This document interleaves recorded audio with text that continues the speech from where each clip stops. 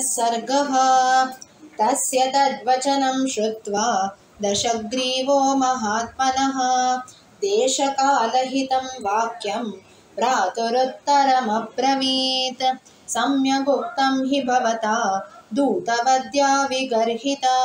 अवश्यं तु वधायान्यः क्रियतामस्य निग्रहः। कपीनां किल लाङ्गूलम् इष्टं भवति भूषणं तदस्य दीप्यतां शीघ्रं तेन दग्धेन गच्छतु। ततः पश्यन्त्वमुं दीनम् अङ्गवैरूप्यकर्षितं। सुमित्रज्ञातयः सर्वे बान्धवा ससुहृज्जनाः आज्ञापयद्राक्षसेन्द्रः पुरं सर्वं सचत्वरं लाङ्गूलेन प्रदीप्तेन रक्षोभिः परिणीयतां तस्य तद्वचनं श्रुत्वा राक्षसाः कोपकर्कशाः वेष्टन्ते तस्य लाङ्गूलं जीर्णैः कार्पासिकैः पटैः संवेष्ट्यमाने लाङ्गूले व्यवर्धतमहाकपिः शुष्कमिन्धनमासाद्य वनेष्विव हुताशनं तैलेन परिषिच्याथ तेऽग्निं तत्रोपपादयन् लाङ्गूलेन प्रदीप्तेन राक्षसां स्थानताडयत् रोषामर्षपरीतात्मा बालसूर्यसमाननः। स भूयः सङ्गतैः क्रूरैः राक्षसैर्हरिपुङ्गवः। सहस्री बालवृद्धाश्च जग्मुः प्रीतिं निशाचराः।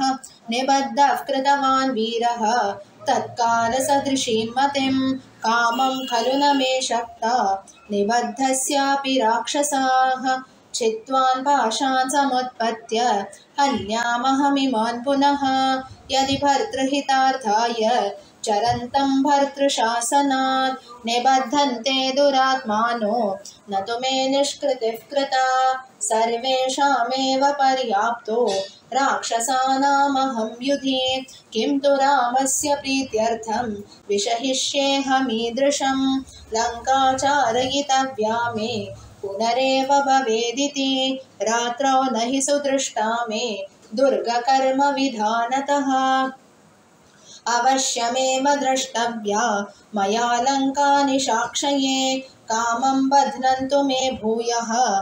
पुच्छस्योदीपनेन च पीडां कुर्वन्ति रक्षांसि। न मेऽस्ति मनसः श्रमः ततस्ते संवृताकारं।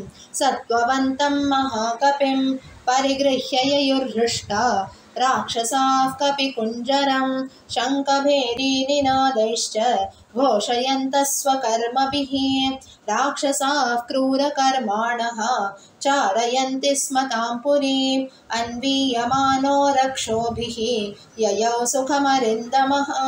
हनुमांश्चारयामास राक्षसानां महापुरीम् अथ पश्यद्विमानानि विचित्राणि महाकपिः संवृतान् भूमिभागांश्च सुविभक्तांश्च चत्वरान् रथ्याश्च गृहसम्बाधाः कपिशृङ्गाटकानि च तथा रथ्योपरथ्याश्च तथैव च गृहान्तरान् चत्वरेषु चतुष्केषु राजमार्गे तथैव च घोषयन्ति कपिं सर्वे चार इत्येव राक्षसाः स्त्रीबालवृद्धा निर्जग्मुः तत्र तत्र कुतूहलात् तं प्रदीपितलाङ्गूलम् हनुमन्तं दिदृक्षवः दीप्यमाने ततस्तस्य लाङ्गूलाग्रे हनुमतः राक्षस्यस्ताविरूपाक्षः शंसुर्देव्या सदप्रियं यस्त्वया कृतसंवादः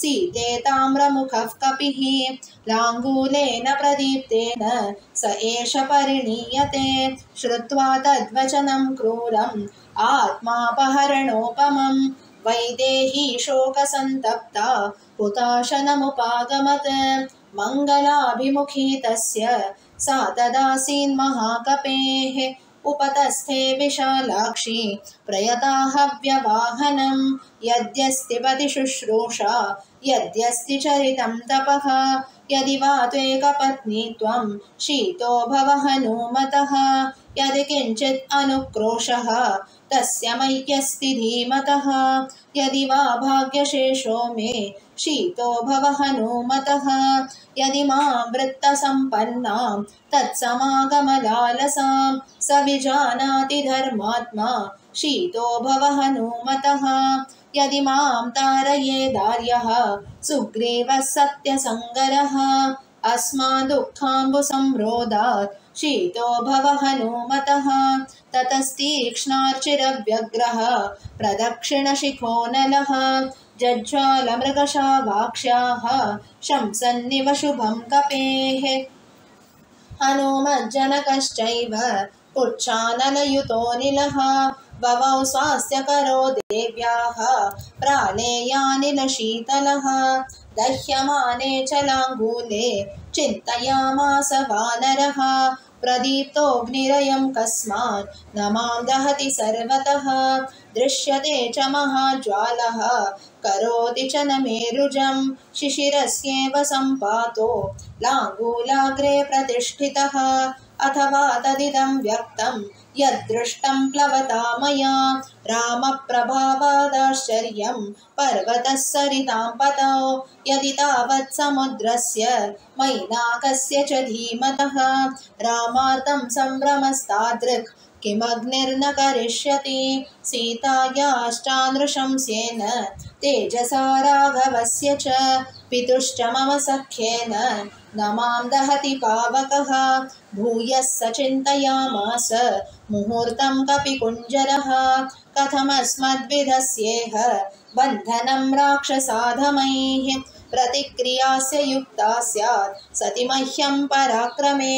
ततश्चित्वा सतान् पाशान् वेगवान् वै महाकपिः उत्पपातात वेगेन ननाद च महाकपिः पुरद्वारं ततः श्रीमान् शैलशृङ्गमिवोन्नतं विभक्तरक्षःसम्भादम् आससादानिलात्मजः स भूत्वा शैलसङ्काशः क्षणेन पुनरात्मवान् ह्रस्वतां परमां प्राप्तो बन्धनान्यवशातयत् विमुक्तश्चाभवत् श्रीमान् पुनः पर्वतसन्निभः वीक्षमाणश्च ददृशे परिघं तोरणाश्रितं सतं गृह्य महाबाहुः कालाय सपरिष्कृतं रक्षिणस्तान् पुनः सर्वान् सूदयामास मारुतिः सतान् निहत्वा रणचण्डविक्रमः समीक्षमाणः पुनरेव लङ्कां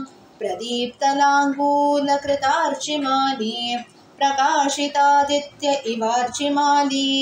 इत्यार्षे श्रीमद् रामायणे वाल्मीकीये आदिकाव्ये सुन्दरकाण्डे त्रिपञ्चाशः सर्गः जानकीकान्तस्मरणं जय जय राम राम। आञ्जनेय महाराज की जय